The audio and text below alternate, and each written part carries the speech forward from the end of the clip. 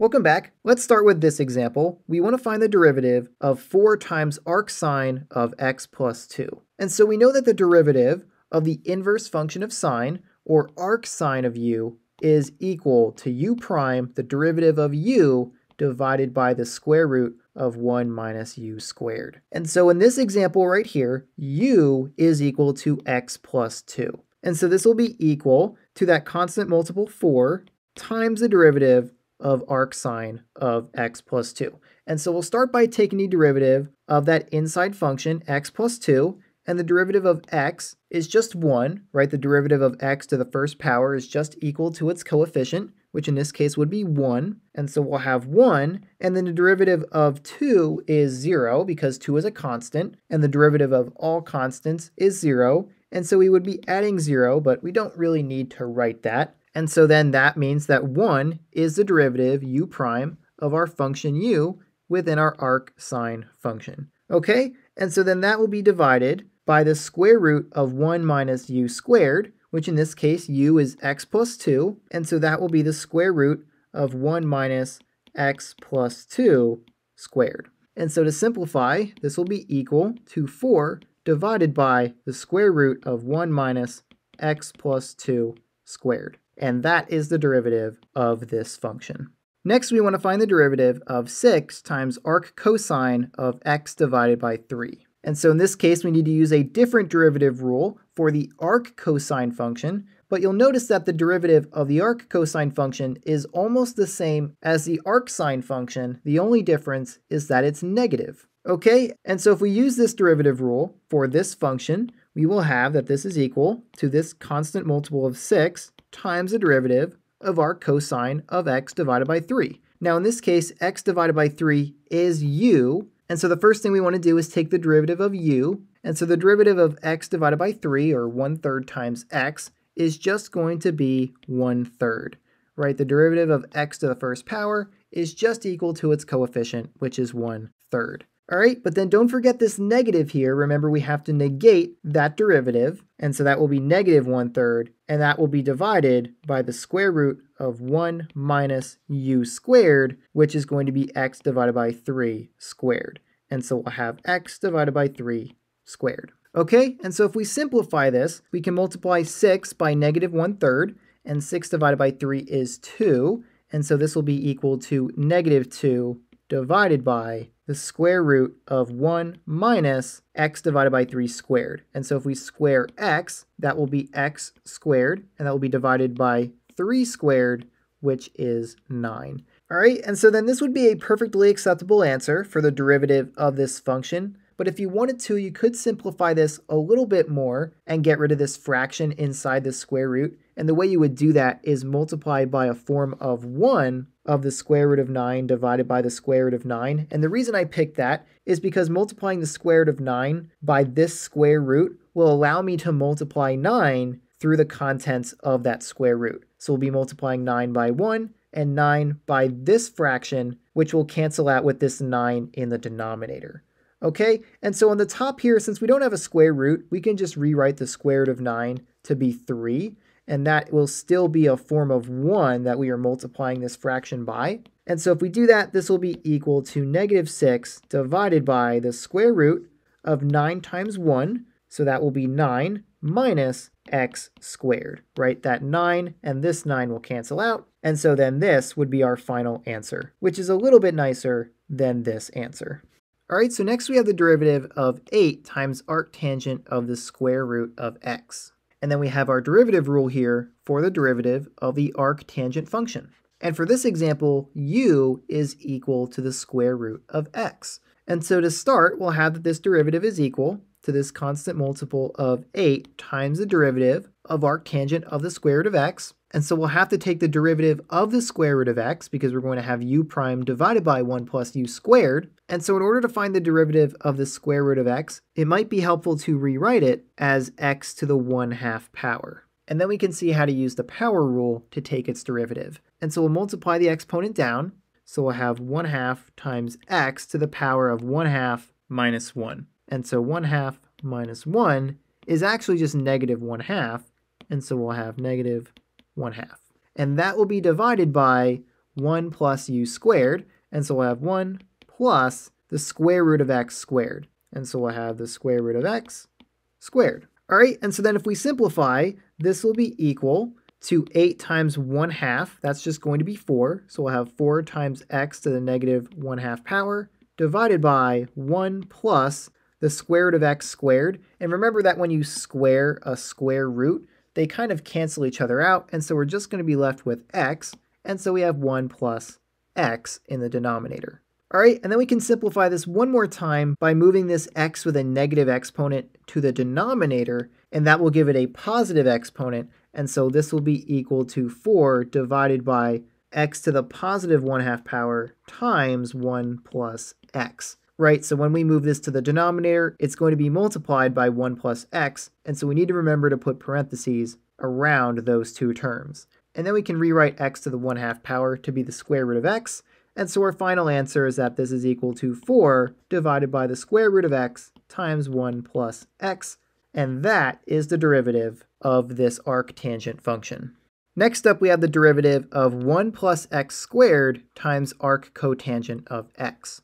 And so for this derivative, we are going to need the derivative rule for the arc cotangent function, which the derivative is very similar to the derivative of the arctangent function, except it is negative. And so for this derivative, we are also going to need to use the product rule because we have a product of two functions. We have this function right here, 1 plus x squared, times this function, arc cotangent of x. And so if you don't quite remember the product rule, I'll have it up here on the screen for you to reference. But if we use that, we'll have that this is equal to our first function, 1 plus x squared, times the derivative of the second function, and so the derivative of arc cotangent of x, if we use this formula, will be negative u prime, which is the derivative of u, and so u in this case is x, and so the derivative of x is just 1, so we'll have negative 1, and that will be divided by 1 plus u squared, which we said u is x, and so we have x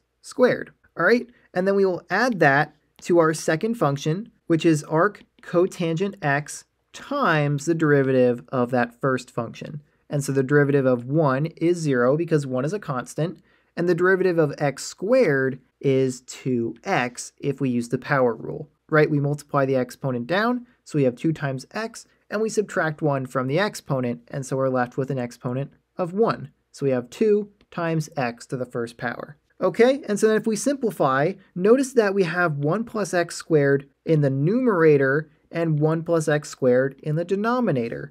And so those two quantities will actually cancel out, and so we'll just have negative 1 plus arc cotangent x times 2x. And so if we reorder those terms, we'll have that this is equal to 2x times arc cotangent of x minus 1. And that is the derivative of this function. Next, we have the derivative of the natural log of arc secant of x. And so for this derivative, we're going to need to know the derivative rule for the arc secant function. And so we have that right here. And in order to take the derivative of this function, we are going to need to know how to take the derivative of the natural log function.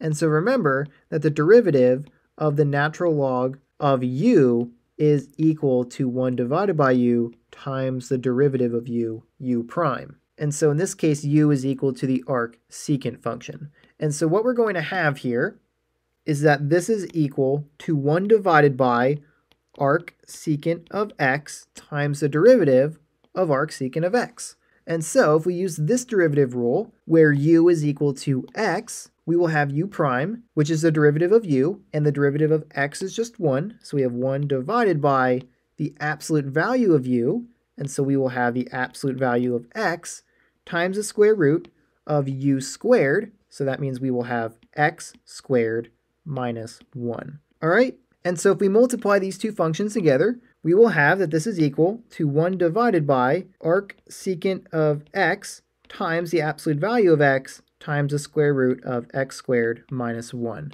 And that will be the derivative of this function. All right, so next up we have the derivative of arc cosecant squared of x. And so in order to find this derivative, we will need to use our final derivative rule for inverse trigonometric functions. But first, before we can use this rule, let's rewrite this function. Instead of having arc cosecant squared x, let's just write it to be that arc cosecant function quantity squared. And so what I mean is that this will be equal to the derivative of arc cosecant x squared. And that will help us see how we will take the derivative of this function. Right now we can see that we are going to need to use the chain rule because we have this arc cosecant function inside a quantity squared. And so when we use the chain rule to take the derivative of this function, note that the outside function is the quantity squared and the inside function is the arc cosecant function.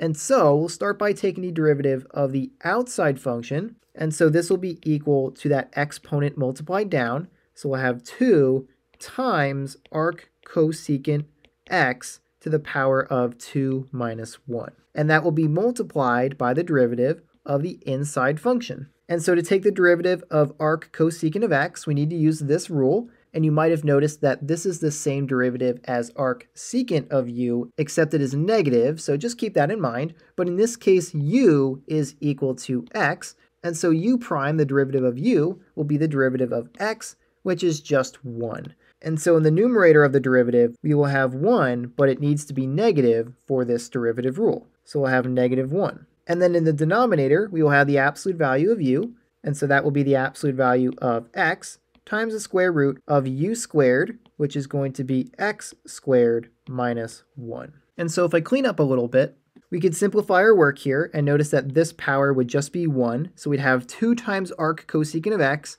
times negative 1. And so this will be equal to negative 2 times arc cosecant of x divided by the absolute value of x times the square root of x squared minus 1. And that is the derivative of this function. All right, so next we have that the function f of x is equal to arc sine of x plus arc cosine of x. And we want to find f prime of x, or the derivative of this function.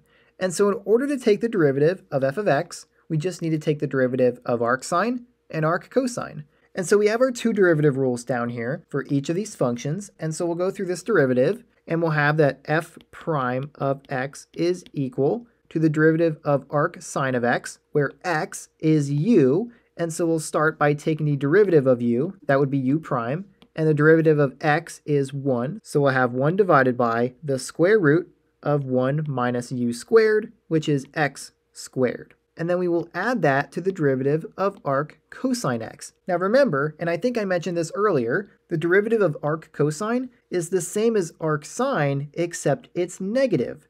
And so we can save some time here and just rewrite this expression, but make it negative, because that is what we would find if we were to use this rule on this arc cosine function.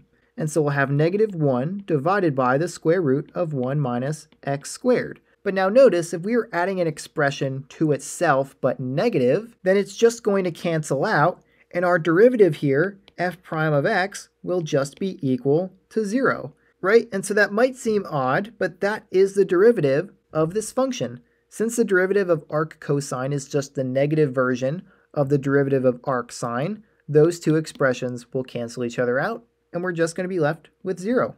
Next, we have that y is equal to sine of arc cosine of 2x, and we want to know the derivative y prime.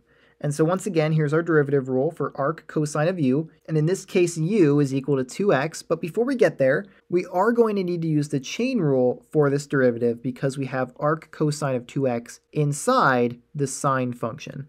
And so we'll start by taking the derivative of the outside function, which is the sine function. And so if we do that, we'll be taking the derivative of sine of this inside function, and the derivative of sine is cosine, and so y prime will be equal to cosine of arc cosine of 2x, and that will be multiplied by the derivative of the inside function, which is arc cosine of 2x. And so we'll use this derivative rule down here, where u is equal to 2x, and so we'll start by having the negative of the derivative of u, and so the derivative of 2x is just going to be 2, right? The derivative of x to the first power is just equal to its coefficient, and so we have 2, but remember to make it negative. So we have negative 2 divided by the square root of 1 minus u squared, which is 2x, and so we have 2x squared. Okay?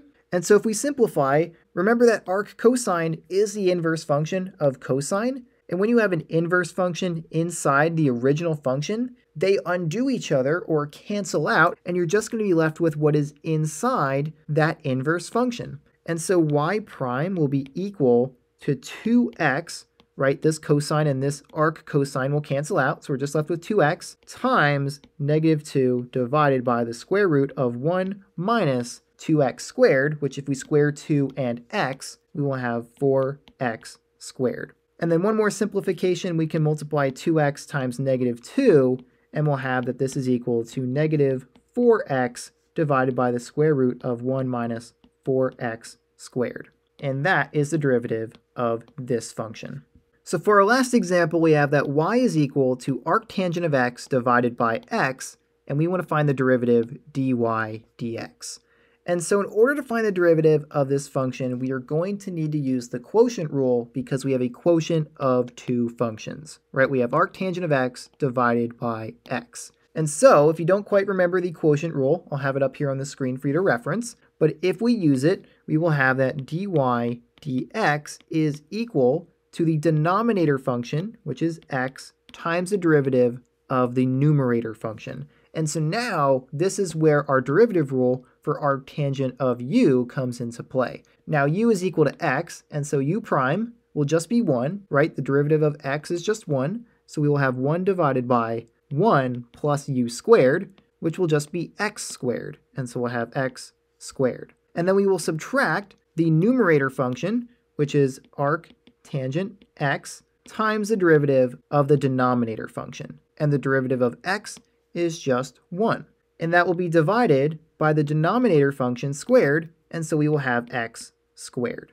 Okay, and so if we simplify, this will be equal to x divided by 1 plus x squared minus arctangent of x divided by x squared. And so this would be an acceptable answer for the derivative of this function, but if you wanted to simplify it a little bit more by getting rid of this fraction within a fraction, you can multiply by a form of 1 of that denominator. So what we'll do is we'll multiply by 1 plus x squared divided by 1 plus x squared. And if we clean up our work here and multiply this quantity through the numerator and through the denominator, we will have that this is equal to x minus arctangent x times 1 plus x squared divided by x squared times 1 plus x squared right? So when we multiply 1 plus x squared by this first term, the denominator will cancel out with that, and so we're just left with x. And then arctangent x is multiplied by that quantity right here, and our denominator is also multiplied by it right down here. Okay, and so that will be my final answer for the derivative of this function. All right, and so that was the last example for this video. If you have any questions, feel free to leave those in the comments below. But if you don't have any questions, this is all I have for now, so I will see you next time.